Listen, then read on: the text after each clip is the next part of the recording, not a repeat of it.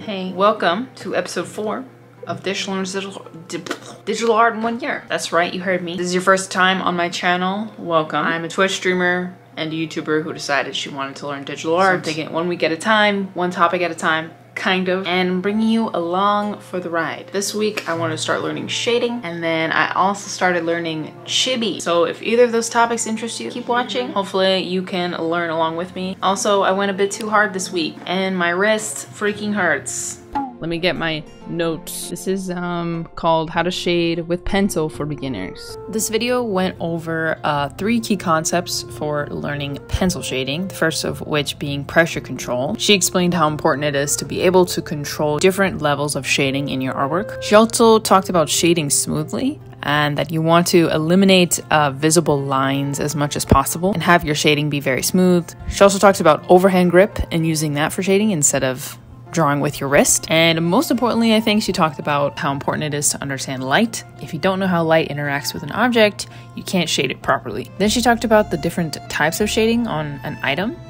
So there's the light side, the shadow side, there's the core shadow that's right below the light side. And then there's also bounce light. Every object reflects light in some way.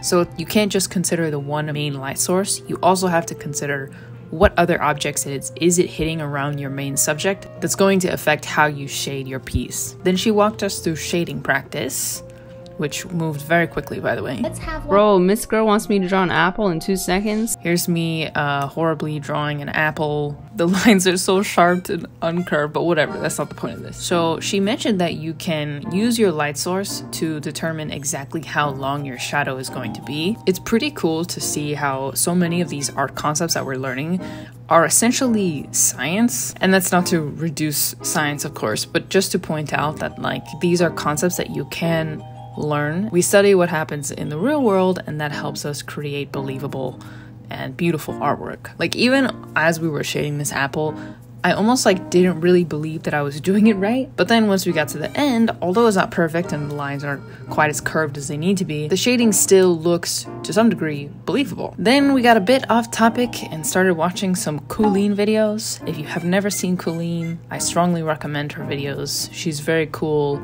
very down to earth. So from here, I just started practicing. I picked three random items from around the house. The first one was this Animal Crossing peach, this blue journal, and then I drew this uh, little cube with with numbers on it. I did a pencil shading on one side, and then I went for a color shading on the other side.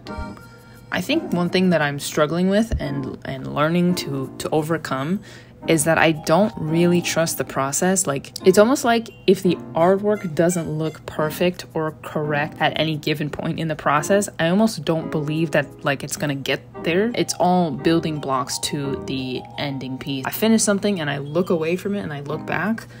And I'm surprised at how much more believable it was than I thought. Occur that very day. Peach. Here's the journal. This one was a bit harder. Uh, it wasn't, I don't actually know why I picked this item.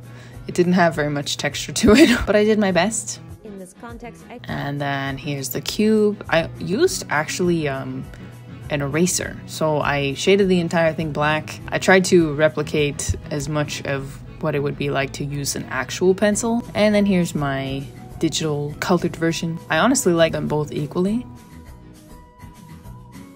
And here's them all together, all done. Uh, the next day, I decided to be a try hard sweat, and this is when I really started to hurt my hand. I wanted to learn chibi anatomy, I wanted to start practicing it. I figured, hey, I should at least enjoy what I'm drawing, right? So technically I can practice shading on anything, so let me make it chibi. So here's me uh, drawing some chibi anatomy. It's so interesting because obviously like the closest thing to chibi anatomy is like kids, but even then, obviously it's not like realistic. The heads are humongous, they're weirdly shaped, and even so, it was cool to see how my short study of realistic anatomy definitely helped me draw believable lines. Like like the thigh should be this width because that's typically what these muscles look like. And though it was my first time practicing chibi anatomy, it looked believable because of that foundation. And of course, I'm still practicing. I wanted to draw Chibi Zhongli, but I couldn't quite get the eyes right. oh no, he looks traumatized. I don't know how to draw eyes. This is him right after he got back from uh, from the, the Korean War. He signed the contract. he just sees some. Ah, now to the main event. This is the sweatiest thing I drew this week. I wanted to draw this beautiful picture of my friend Dawn in chibi form. Now I was very daunted because it would be my first time drawing clothes since I tried to draw that skirt on Neko. I didn't expect much. I was more focused on just getting the shape right, whatever shading I was capable of doing. I really took my time with this one. Like, I took a long time. I sat like this for many hours. Oh my gosh, my butt fell asleep. I started with the baseline, so I basically drew her body lines and used that for her sketch. I did the hair next, and then I did the clothing. I pretty much just I mimicked what I saw, but didn't follow it exactly. I, I modified it a little bit to make it look more cutesy.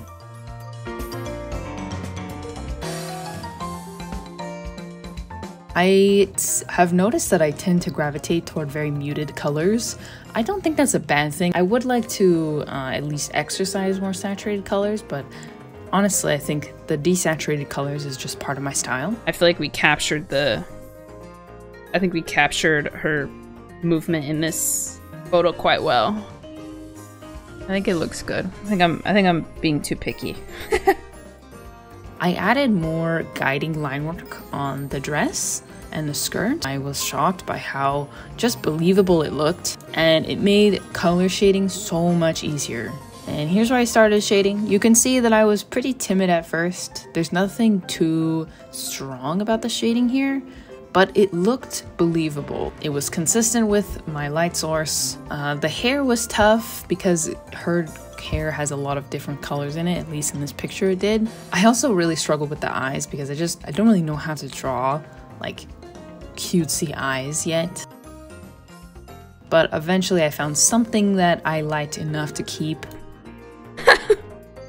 well, it is all a work in progress and I am just figuring it out as I go. Understand and figure out like what is my style? Like what's my baseline for how to how I draw like lips and stuff? Overall, I'm very pleased with this. Uh, it took me three hours, maybe uh, like three and a half hours, but whatever, okay? I'm learning. I learned a lot during this process. It's fine. You can actually see the sunlight fading in my room. Alright, I think I'm calling it finished putting my pen down. There's a little gray blob on her. Where? Oh, oh my gosh. Oh gosh. Oh gosh. Oh, my favorite game. Which layer is it? Get off of my, get off of my painting. Get off of my picture. This is probably like the most polished thing that I've done thus far. This didn't take three hours. I don't know what you're talking about. I gotta post it so I can get that immediate gratification. You know what I'm saying? You're not are you finished with your art if you didn't finish if you didn't post it on Twitter. I drew a couple things uh, the next couple days. I got to watch a very sweet VTuber named Saki finish Omori. I wanted to draw her VTuber model in kind of like a hybrid Omori style.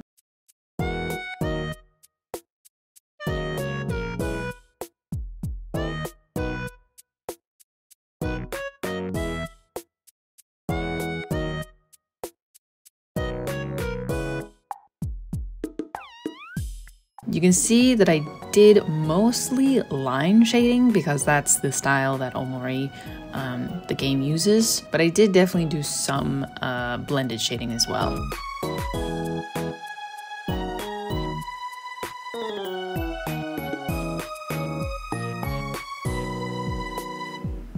Hi, my hand is very sore. my wrist is like, I don't know, I've been going hard drawing every single day for like long hours and my wrist hurts real bad. So like um like a nerve pain running from like my index finger to like all the way up my forearm. It's Saturday. I want to do I still want to do my self-portrait. I'm just going to have to like keep it low key. I'll probably do like um maybe I'll just do a sketch and I'll do like black and white shading instead of color shading. I ordered a compression glove, a pencil grip, and a stand for my iPad. So hopefully I can help um, I always do this. I always go too hard when I'm learning something and then I end up hurting myself. I gave myself plantar fasciitis when I was learning yoga because I stretched my feet like too hard.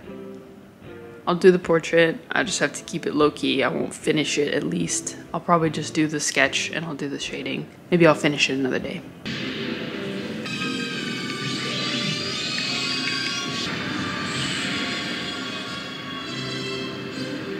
Uh, I did not take it easy. I really couldn't stop myself. This one, I really had to trust the process on, uh, but I followed basically the same format that I did for my that I did for Dawn's drawing, but I was just a bit less picky about it. Uh, I didn't want to sit there for three hours, so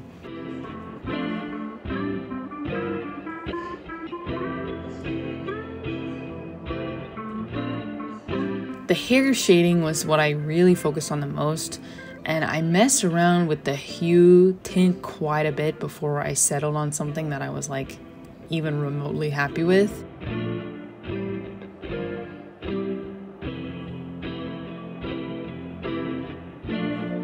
It's a little messy, but she's cute. I don't hate it. I don't really love it either. I feel like I've I feel like I'm like close to grasping. Like it looks better from here. Maybe it's just like I'm having a hard time believing that like the techniques are gonna work. Like I still feel like the shading is kind of like not believable. How it's like it's all light, right? That's really what it comes down to. Is like how does light interact with objects? I try to push myself a little bit and only use cel shading and not use any gradient shading, whatever the frick it's called. So all things considered, I think it's um. Oh, I'm gonna say it. I'm gonna say the thing again. It's progress. it's progress. I really should have rested, but I didn't, and I wanted to practice my cel shading. So I drew this like glossy coffee table with my little matcha on top. And then I drew Kirby. No surprise there. I love drawing Kirby, so easy. And here are all the things together that I drew this week. I can see the areas that I've pushed myself. Um, stronger colors, more consistent colors. I feel a strong color palette with a lot of these. Almost all of them are like slightly different styles, which I think is good. I am figuring it out, so I'm trying lots and lots of things. Shading, I feel, is something that's going to take me a long time to really master, and I need to give my hand a break, so I might need to take it a bit easier next week. Maybe no uh, hard set theme, but I will just draw what I want to draw. We'll see if I can uh, control myself at all. Thank you so much for watching. You can find all the resources and everything I drew in the description. Make sure to subscribe if you'd like to see the next episode, and you can click on this playlist to watch all of the videos in this art series. All right, I will see you guys next week, and good luck on whatever you're working on.